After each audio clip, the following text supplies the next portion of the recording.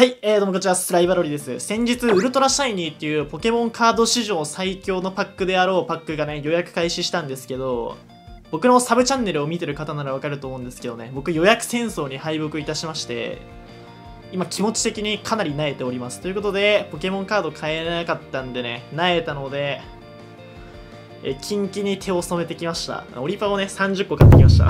ちょっとクロスリーブだから見にくいんですけど これ全部で30個あります。まあでも30個つっても1パックそんなに高くないんで、500円のやつを30個買ってきたんで、このオリパ30パック分で、えー、うさばらししていこうかなと思います。まあ結構楽なところにね、1パックにつき1枚しかカード入ってないんで、割とサクサクって見れるかなと思います。ということで、早速見ていきましょう。え、1パック目。ウルトラシャイニーの発売っていうかカードリストが公開されてからの、えー、オリパ、あー、オリパなんで、まあ、結構ウルトラ、あ、そう、グレイシャ GX とかそうなんですけど、ウルトラシャイニーで再録されるカードが結構入ってるんじゃないかなと思うんですけど、まあ、グレイシャ GX はね、ポケモン界の陰キャみたいな戦法を持ってて、特性で相手の GX、EX ポケモンの特性をロックできるんでね、先に展開できたら強いと。2パック目。はい。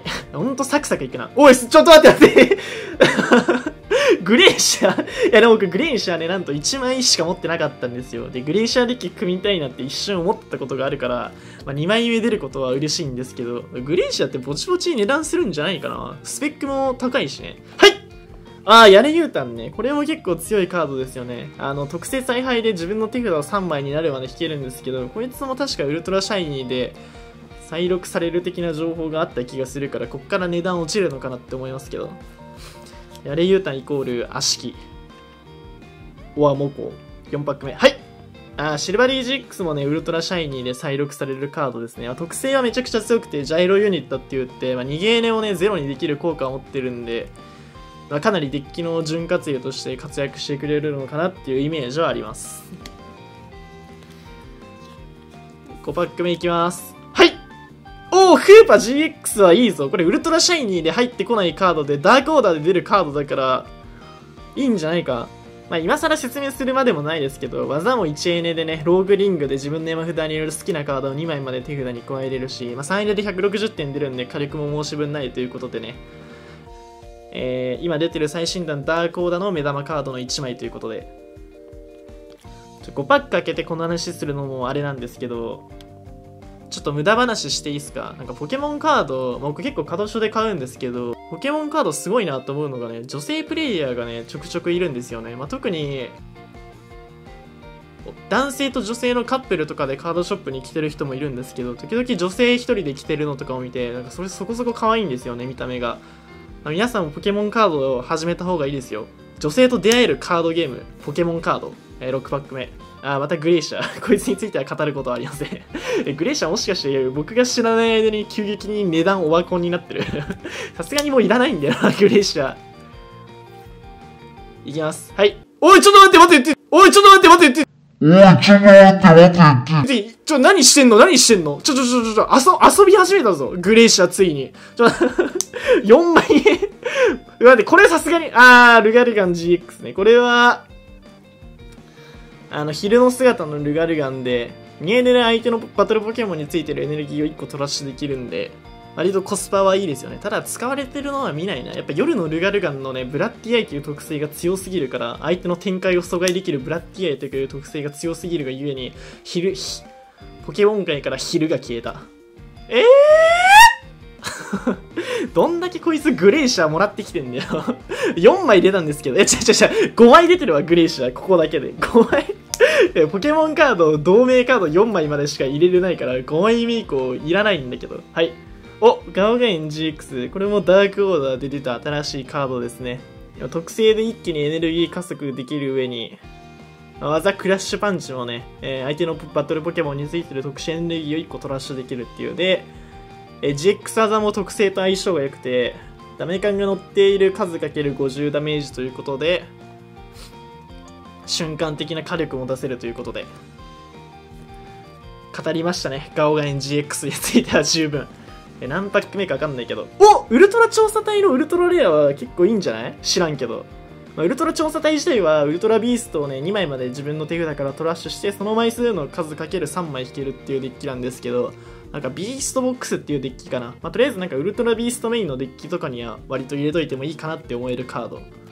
やっとなんかその当たりと思える当たりを引いてさ喜んだんだけどもしかしてウルトラ調査隊もウルトラシャイニーで再録されたりすんのかな。はい。おーん。おーん。えー、13パック目いきます。はい。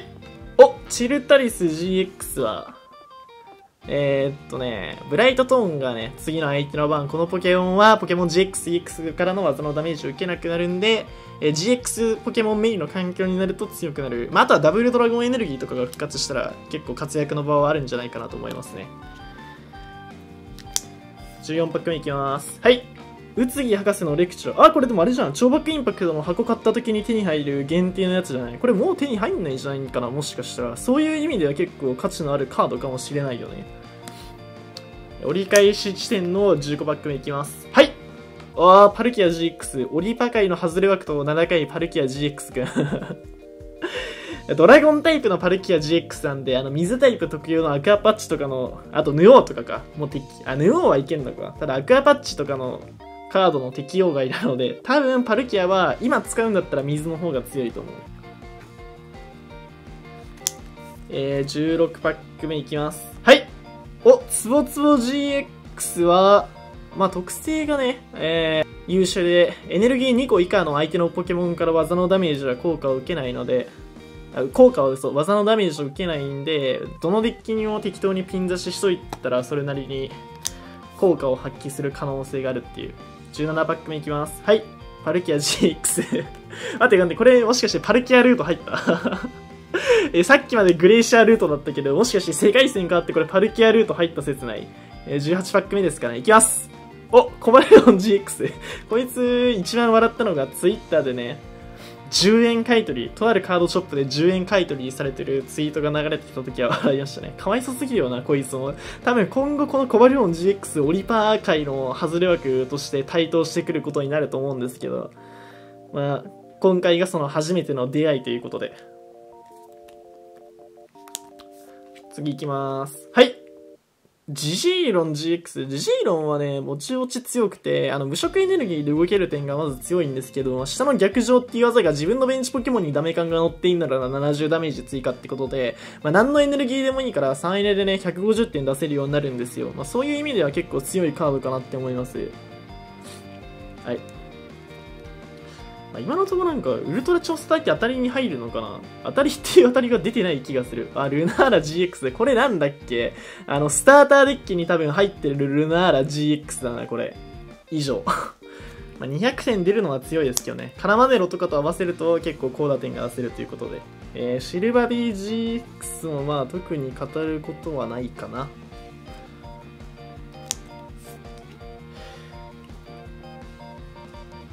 えー、22パック目。おマグカルゴ GX のスーパーレア。マグカルゴはね、結構強いんですよね。今でも第一線級で戦えるだけのスペックがあって、まあ、強い理由としては特性のクラッシュチャージがエネルギー加速、まあ、デッキトップを落としてそれがエネルギーだったらエネルギーをつけれるっていうエネルギー加速の効果を持ってるんですけど GX じゃないマグカルゴがデッキトップを操作できる特性を持ってるんでそいつと組み合わせてあげると分回りするっていう、まあ、強いカードですね。マグカルゴ好きの方がね、いるかどうかわかんないですけど、マグカルゴデッキは一戦級で戦えるカードなんで、組む、好きだったら組むことをお勧めします。はいシルバリー シルバリーの世界線入っちゃったよ。まずいまずいまずい。ちょっと脱出しないと。シルバリー世界線から脱出しないと。次おいお、ちょっとシルバリー世界線入ってる、完全に。え、これは、まあ、イラスト違いなんだけど、シルバリー GX の、え、効果自体は一緒なんで、特に語ることはないです。まずいよ。え、24パック目、いや、25パック目か、いきます。おズガドン GX か。ズガドン GX もチャンピオンズリーグ東京でね、結果を残したことで、一気に注目されたカードですけど、最近僕ズガドン GX デッキね、組んだんで、4枚持ってるんで、あんまり嬉しくないわけではないけど、特に必要でもなかったかなと思えるカードですねはい。ということで、えー残り5パックまで来ました。いけるかどうか。残り、5パック。はいおー、ダークライ GX が、悪タイプが今ダークオーダーで強化されてるんで、もしかしたら活躍の場があるかもしれない。特性リザレクションがこのポケモンがトラッシュにいるときに、このカードをベンチに出して、え悪エネルギーもね、1個このカードにつけれるっていう効果なんですけど、クチナシとかと組み合わせてあげるとエネルギー加速が自然とできるので、そういう意味では、ぼちぼち可能性のあるカードかなということで、えーラスト4パック目。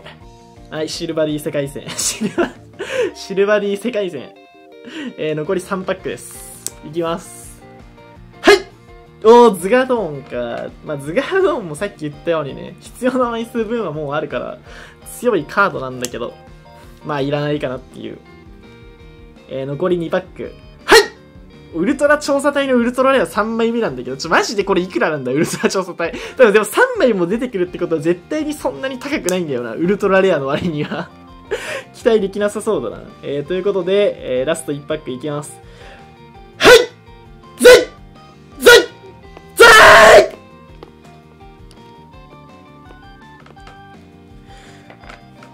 んないけど多分当たりっていう当たり出てないよな。